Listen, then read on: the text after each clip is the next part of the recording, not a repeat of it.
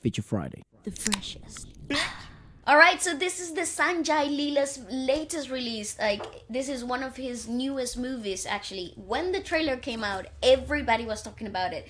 And Arijit Singh, it's doing this particular song, uh, which is very classical influenced. And it, it's uh, one of the most modernistic takes about the two influences. So, Nice. let's have a look. I know that this movie is based on a true story, but this is as far as my knowledge goes. Okay.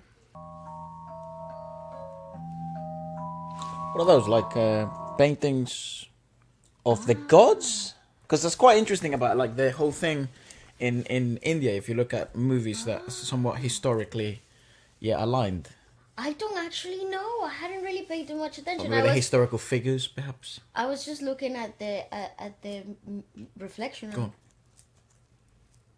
Oh, Nice. Thumb down, the strings come in. Nice.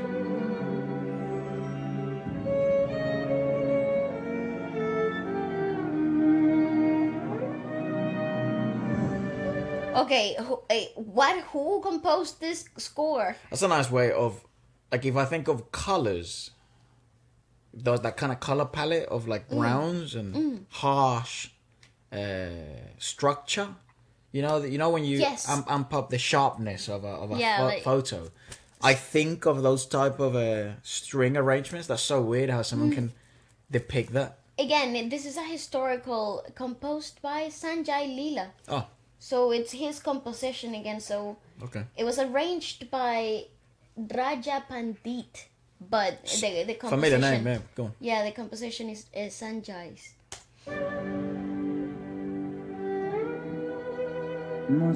मुस्कुराहट को भी आने पे Yeah, that is how like, back in the day they used to do makeup, right? With that. Uh, I don't know if this is like.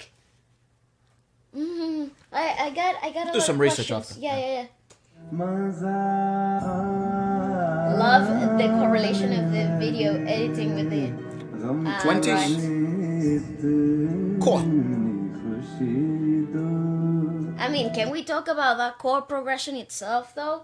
It's all over the place. It's so in- incredibly unpredictable. It is intriguing how the sort of the brightness and the you know the big clings mm-hmm. of things do ignite something, both you know sort of visually and auditory. So I do wonder whether this was like a, a piece of the movie in the sense of the, like what the video we're seeing Yeah. was like a scene in the movie or whether it was specifically made so as a music video for the song. No, I know that that uh, because I watched the trailer. So that part that's part of the set. That's part of like the city development itself.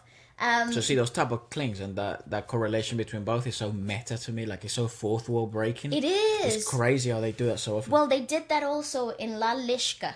yep. Uh, so and they had those ting ting bell yeah. sounds. They ignited something different. Yeah, that's, that's very true. So that's it's right. of common. It's fantastic. Oh, sorry.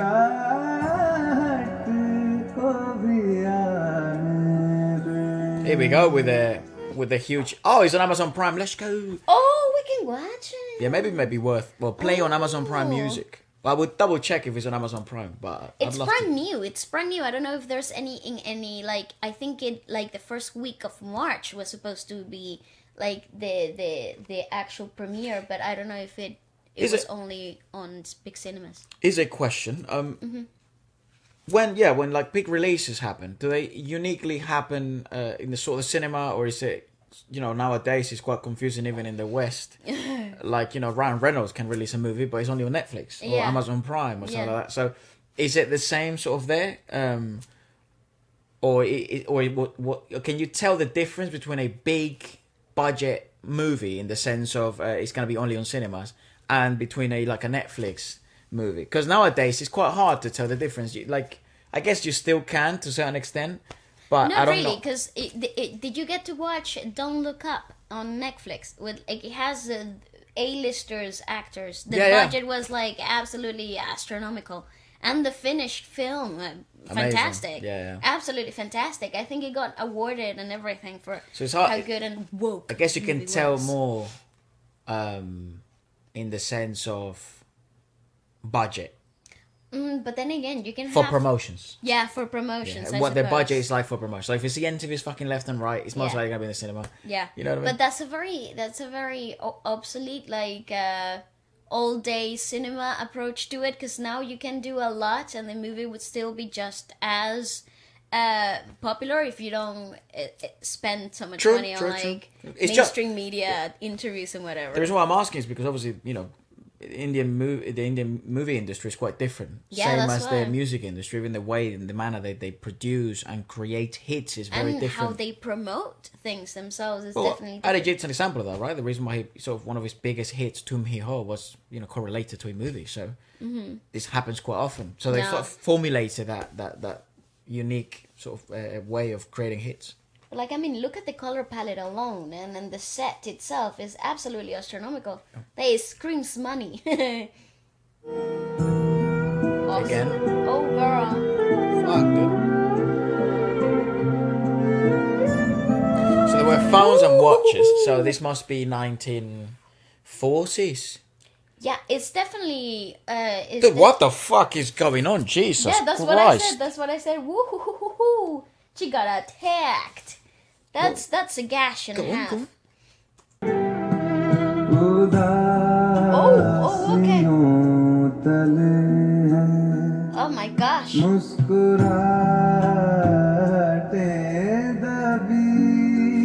That's that's interesting progression, especially with the. Because it's like. She's she's obviously beating down on a man, or they're sort of you know introducing the idea of difficulty and ginormous you know ginormous physical consequences uh, of of whatever choices she decides to make. Right, it's very hard to try and depict what the actual story is, uh, and because it is historically aligned, Mm-hmm. I have no bloody clue, and I don't even think it's fair to guess. I think I uh, so far what I what I very superficially read was that she was a feminist, uh, a figure like a An activist. an activist. That's what it is. Um, and she was really ahead of her time, and people really, you know, women really followed her her way of thinking. So they had Um, watches. there was uh, I saw a motorbike. Uh, yeah, I so I'd think imagine it's fifties, like, forties. Yeah, I think it's definitely around nineteen fifties. Yeah, Probably. definitely. But then again, who knows, right? Some hope. Very beautiful. That's fucking sick. Pull back when she shakes in the fucking thing. You get a uh, a a, a thing. a checkers. No, yeah. look, look. Yeah, as as if it was her wrists, her, uh, Class. her jangly jingly of the wrist.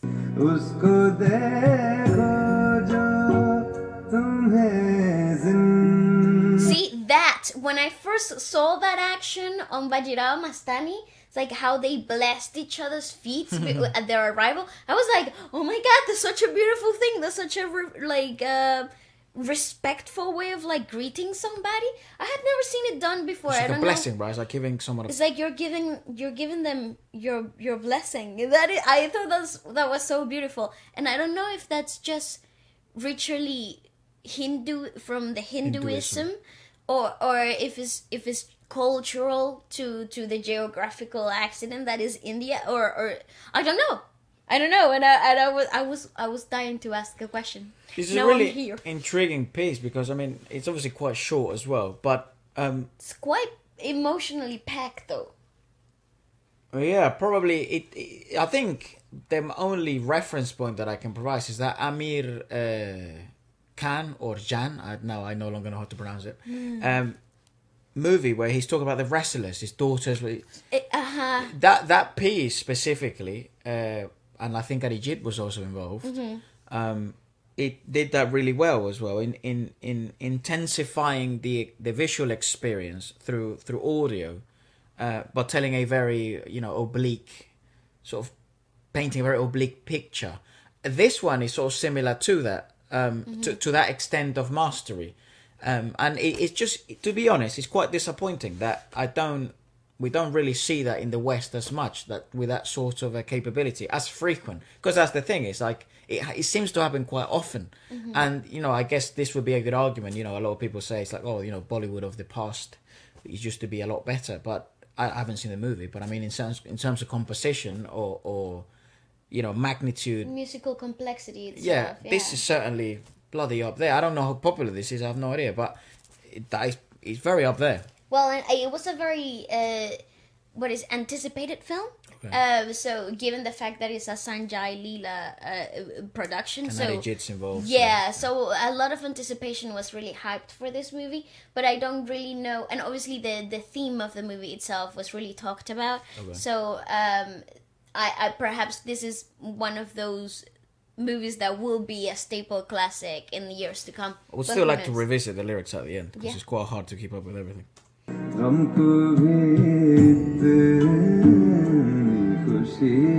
I mean, come on, that line and that chord progression just to in it give you that much more to the heart. Even suffering must be embraced with joy. That's that takes courage. Not a lot of pain. Not a lot of people are open to embrace pain that way, and I think it comes with like years of suffering that Indian you classic learn. Indian classical progressions are the best at creating suspense or or or Heartbreak. yeah or Yeah. disdain like pain. is so crazy. I don't know why specifically that. this particular piece just screams to me stale hurt it's like it's it's it's like uh no it's not numb. It's like you are so used to the pain now but it's been with you for years type of pain so it's become stale. Okay. it's a bit bitter but yeah that's that's how i would describe An this unhealed chord wound. progression. Yeah it's always there type thing. Jesus. yeah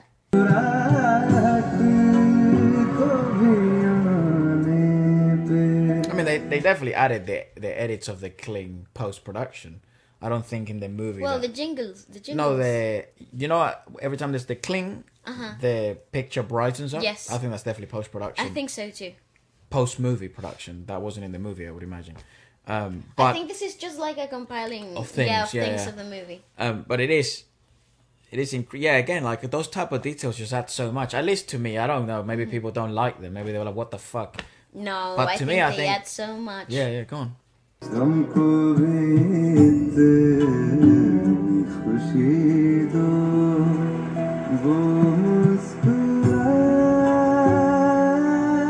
I need. That's wonderful I from Arijit. Go left. Listen to that again.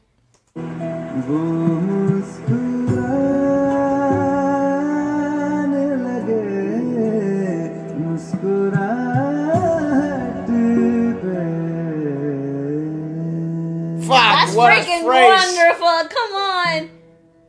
Pull it again. Come Pull on. that last bit again. Jesus, that is a singing phrase that I have.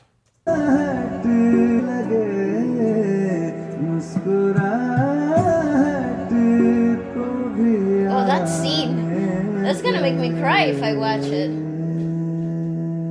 Gosh!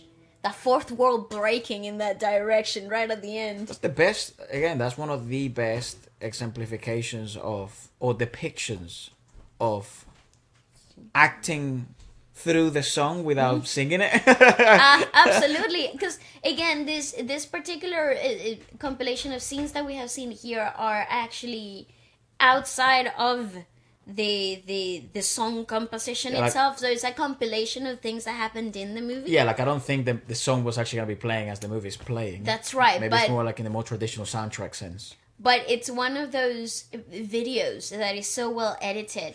Right? So that they actually soak you into that reality and then you have many questions. It does the job of like okay let's watch the movie.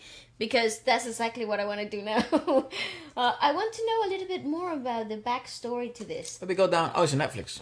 oh it's on netflix but Well, at least that's what it says here. Look, maybe it's like netflix india i would have to get a vpn to- yeah. yeah no for real Go down. I've had to do that several times actually. Go down. Maybe in the comments. There's some English comments. The look into her eyes is so haunting. I find myself tearing up several times during the video. Truly a masterpiece. Everything from the music, cinematography to the acting is brilliant. Arijit's voice always touches my heart. The pain. Yeah, I'm intrigued into. um To knowing what is this is. Yeah, I know. You know, Sanjay Leela is sort of. Muska muska. He he is sort of known for creating this age ageless. Uh, films. compositions. Yeah. Yeah.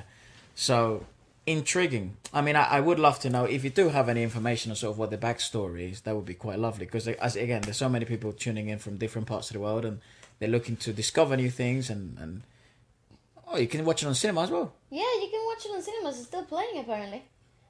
Ooh, that could be a plan for the weekend. It Tricked says, by her boyfriend with the promise of a film career and persuaded to leave the countryside for Mumbai. In Mumbai, her dreams of a film career come crashing down as she lured into the, to the underworld. got trafficked or some shit. Mm-hmm. So that's probably what you're seeing there. I understand. I understand. Right. So but maybe maybe she became more of an activist in that sense, in the sense of uh, she sort of changed the film industry by becoming one of maybe one of the first sort of female um, directors or something like that. I don't know. Because it seems at the end she fucking achieves it, doesn't Yeah, there's definitely some pool of power right at the end. I like the the classical approach to this because it, it's very it, the the chord progression and the way that the singing has been done. Mm. It's very much more classical to the things that we have seen classical Indian music. Apparently, it Uh, hasn't released. it hasn't released. Oh, it has released, twenty fourth of February, but it's still available on cinemas. Yeah, look. Fucking mental. Yes, it is. You can watch it today. Oh. Nice. Well, let us know more about it, guys. And uh, apart from that, um, what else should we check out next? Okay.